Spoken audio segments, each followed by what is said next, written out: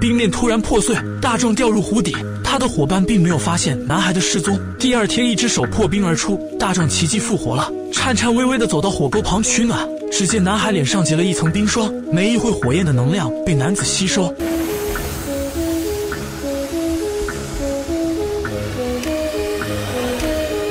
当他离开时，火堆已然结了一层厚厚的冰块。男孩来到医务室，以为自己感冒了，一直发冷。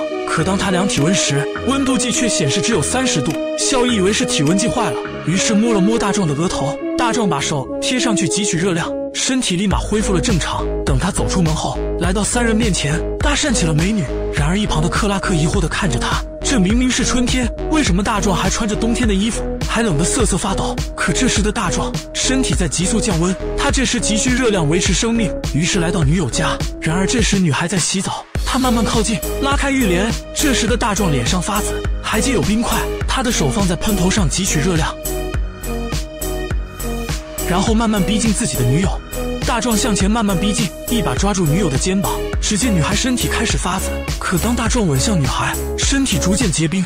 女孩的热量已然被完全吸收，大壮一放手，女孩就犹如玻璃炸裂开来。大壮缓缓向大厅走去，身旁的蜡烛还没来得及反应，就冻成了冰块。但这也维持不了多久，不一会就冷得全身发紫。大壮划开一根火柴取暖，可火柴瞬间就结成了冰块。于是大壮只能挨个给好友打电话，想要约出一个好友汲取热量。可是大壮的人缘太差，竟然没有一个人理他。无奈的大壮想起了白天搭讪的女孩，女孩本身就对大壮有好感。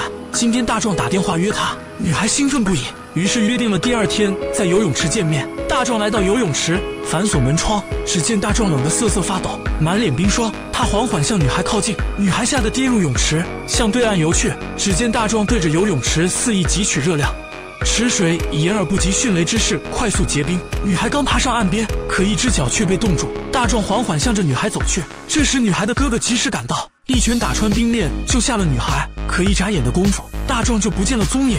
大壮来到发电站门口，一把抓住锁头，只见锁头犹如碎冰冰一样，一捏就碎。大壮双手拿着电线，肆意汲取热量，可现在的热量已然满足不了他。大壮来到马路，拦下了克拉克的汽车。可就在这时，大壮一把抓住克拉克的手臂，肆意汲取着超人的能量。没一会，克拉克倒下，大壮也暂时恢复了正常。他看向远方的发光体，缓缓走去。大壮来到发电机面前，左手摸着发电机，吸收着热量。没一会，发电机就结成了冰块。女孩拿着手电筒出门查看，来到发电机面前，只见早已结了厚厚的一层冰。这时，大壮缓缓向着女孩走来。就在这时，克拉克也开始苏醒，手上的冰块自动脱落，他喘着粗气醒了过来，飞速的来到女孩身边。只见超人一棍把大壮打飞。当超人赶来，早已不见大壮身影。可就在这时，大壮竟然偷袭，然后肆意汲取超人的热量。